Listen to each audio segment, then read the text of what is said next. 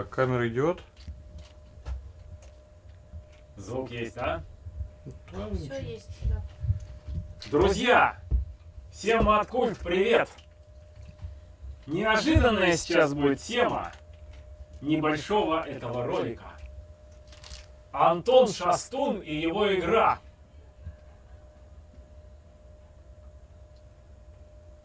Как он там, индонезийский покер или как-то еще? Мне, короче, друг написал, говорит, да ты посмотри, что они там играют. Там сложнейшая в математическом плане э, игра, они еще там играют, я совершенно, видимо, не понимаю ее сложности. Ну, не знаю, кто-то понимает, кто-то не понимает. Если долго играть в любую игру, то ты научишься в нее играть, даже если ты математику не знаешь, ты будешь прям прощупывать, да, что надо делать.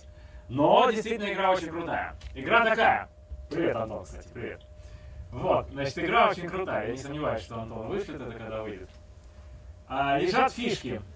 1, 2, 3, 4, 5, 6, 7, 8, 9, 10, 11 и 12. Играют по очереди несколько человек. В сущности, на самом деле, игры здесь, э, вот в таком теоретическом-игровом смысле слова, игры никакой нет. Здесь есть погоня друг за другом. Кто быстрее, кто быстрее пройдет финишную прямую, э, ну, как бы, перейдет финишную черту. Финишная черта – это перевернуть все фишки. Теперь вопрос, когда можно переворачивать фишку. А вот когда. Когда вам пришел ход, естественно, он передается по кругу, кто-то там начинает, а, бросаются две игральные кости, обычные, значит, шестигранники, ой, обычные кубы, что я говорю. Два обычных кубика, да? Один, два, три, четыре, пять, шесть. Вот. Если у вас выпадает некоторая комбинация, например, 2 и 5, то вы либо переворачиваете оба выпавших э, жетончика, либо их сумму. Либо 7. И в дальнейшем эти жетончики уже не перевернутся назад. Ваша цель быстрее других перевернуть все жетоны. Возникает ряд вопросов. А, например, что будет, если одна из комбинаций недоступна? Ну вот, например, мне выпало 2,5, а двойка у меня уже перевернута. Тогда не имеешь права перевернуть оставшуюся пятерку, только 7 можешь перевернуть. А если 7 недоступно, тогда только 2,5 можешь перевернуть, но, а, опять же, одновременно. А что если оба вот, варианта недоступны? То есть, например, у тебя выпало 2,5, двойка у тебя э, есть, а пятерка и семерка уже перевернуты. Тогда ты торчишь. То есть ты ничего не делаешь, передаешь ход значит, следующему. То есть ты не имеешь права перевернуть один из двух. Ну и последний, наверное, вопрос, который э, для уточнения, что будет, если выпадет дубль 3-3? Ну, ответ понятен. Ты переворачиваешь либо 3, либо 6. Так, это то, как я понял игру, исходя из, а, значит, посовет, мне посоветовал мой друг один, и он, значит, ну, вроде так, подтвердил, что вот так эта игра выглядит. Ну и все, дальше они играют друг с другом, кто быстрее перевернет. Понятно, что здесь очень многое зависит от везения. Но и от умения должно тоже зависеть, потому что, смотрите, вот что если у вас в конце остается Приведу пример, один приведу пример, потом уже к теории э, такой общий перейдем, но она такая, она вообще зубодробительная. Значит, вот у вас выпало, у вас осталось 5, 6 и 11. А, э, так, выпало 5, 6, а осталось 5, 6 и 11.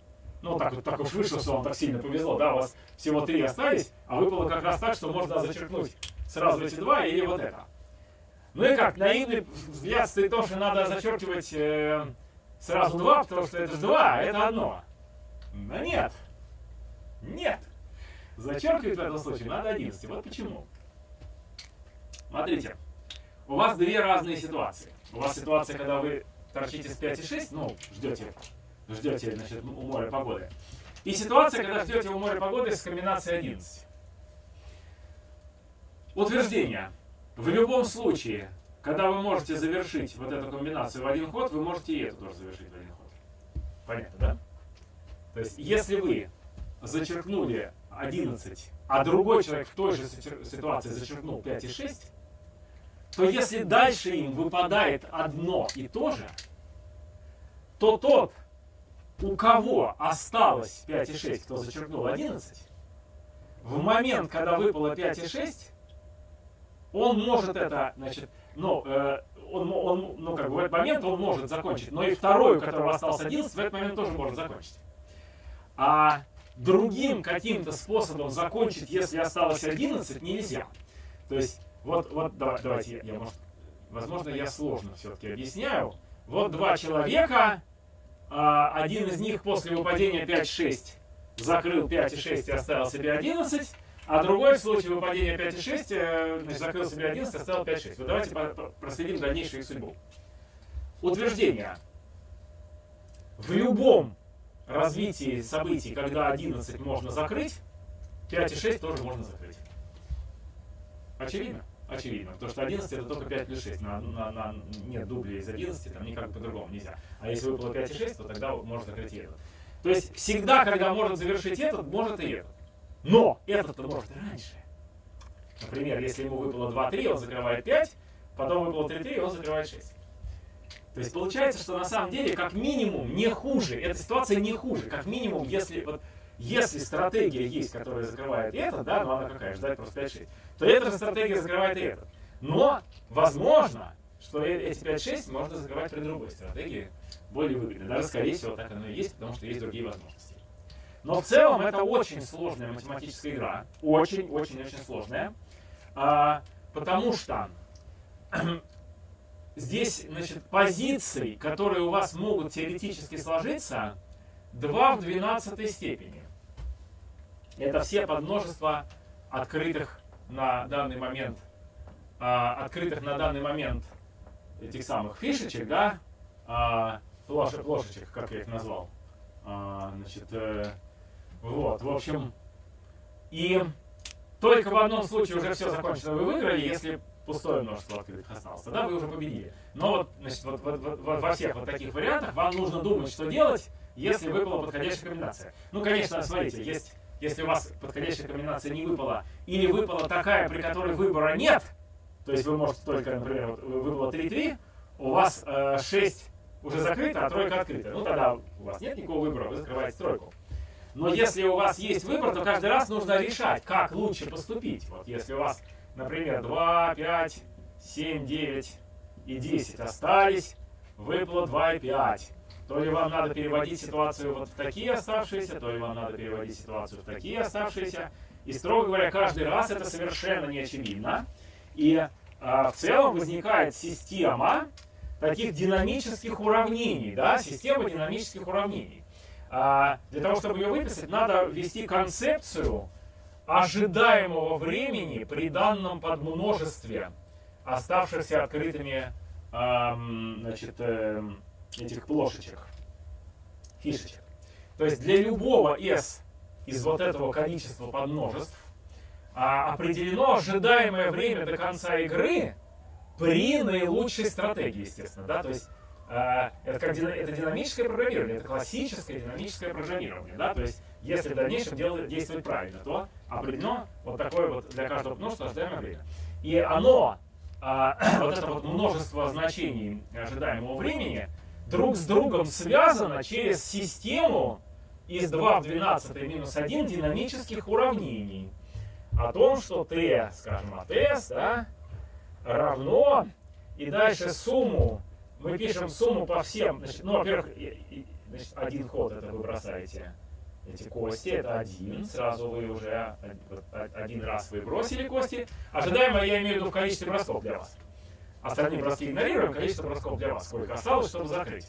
Это как бы каждый играет за себя, да, каждый бежит, как, как соревнование по ориентированию. Каждый бежит одну и ту же дистанцию, но с разной скоростью.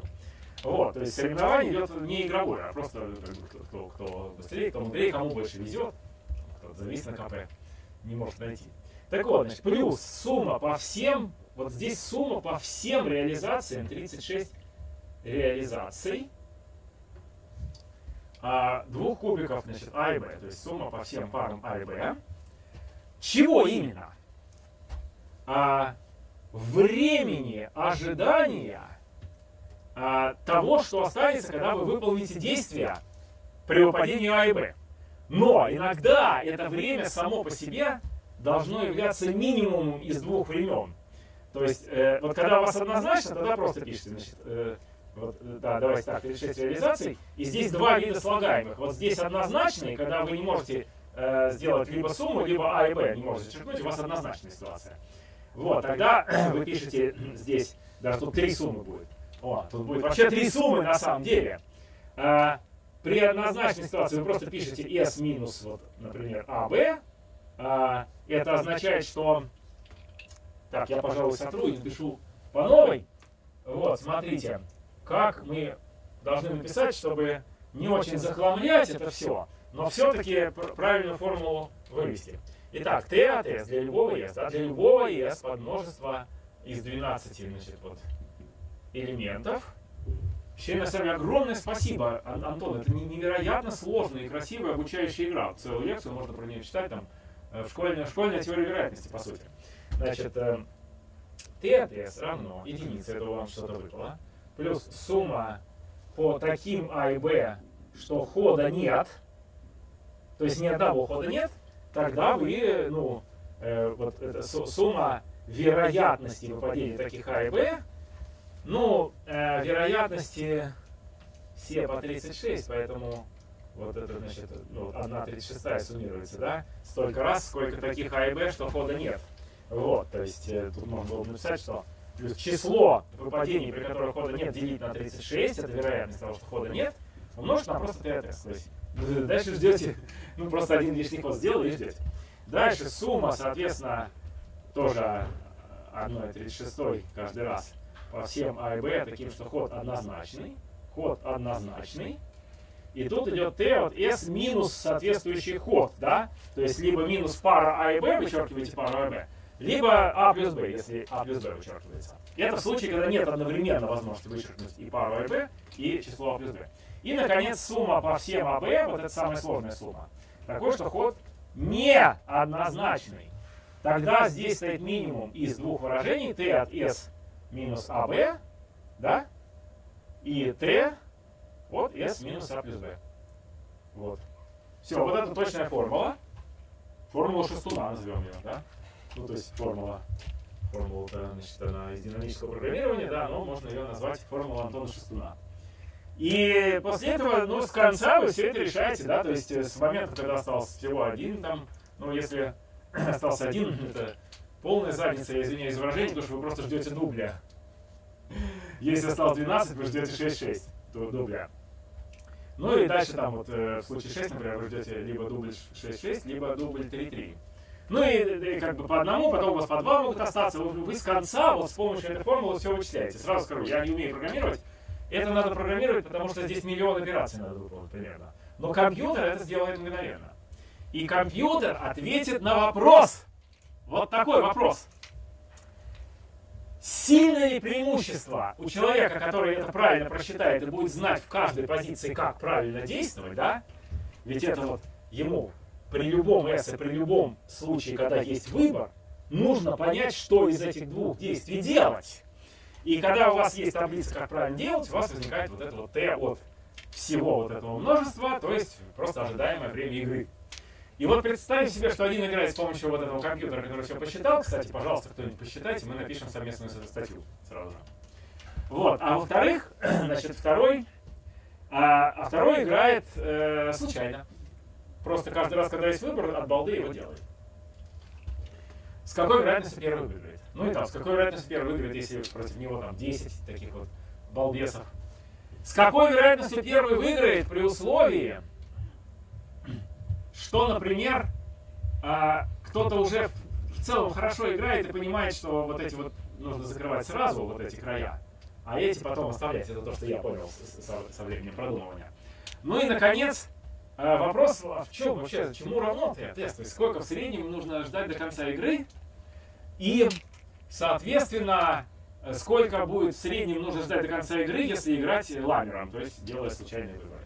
Вот, видите, целый ряд супер интересных математических вопросов, которые в этой задаче можно решать. Так что приглашаю всех этим заняться. И до новых встреч. Всем Маткульт, привет! Отлично. Снято. Снято. Так, все, значит, этот файлик пришлете, да, мне? Ну что, круто, да? Крутая игра? Крутая, да. Абсолютно.